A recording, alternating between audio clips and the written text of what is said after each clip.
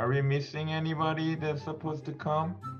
Oh, Chloe. Chloe. Wow, you gonna join ours? Actually, sorry, I'm leaving. Oh no. No. you can't stay. No, it's okay. Have a good time. Okay.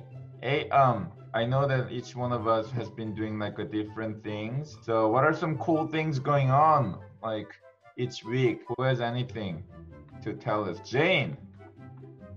What what have you been up to? Our C project meetup. Um, we just have a mentorship small group meeting. Yeah, we're just chatting and um, catching up. Thank you. Anyone else has anything cool? The AYM Connect. I'm very excited to get to meet the different students and like actually learn more of who they are. We've been doing Fiat Lux and it's been really good and there has been people who have been showing up regularly and it's exciting to see freshmen coming and wanting to really get to know who God is and deepen their faith. CS61A preview has been going on, helping different people out in Mm. CS and Mm. they've been a lot more like vocal and um, chiming in with different things. So the Arrange Space app is coming along.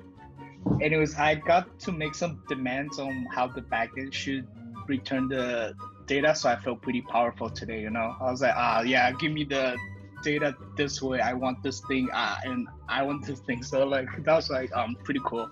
Thank you, Michael. We really need it because like whenever we, I mean, oh well, like when are we gonna give people rides now? like, that's the thing. I really appreciate their hard work, but hopefully somehow we can give people rides and then host people from East Coast to the West Coast. I think one day that will happen, right?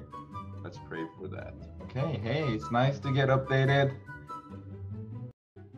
So Chibuzo um has a good design, you think?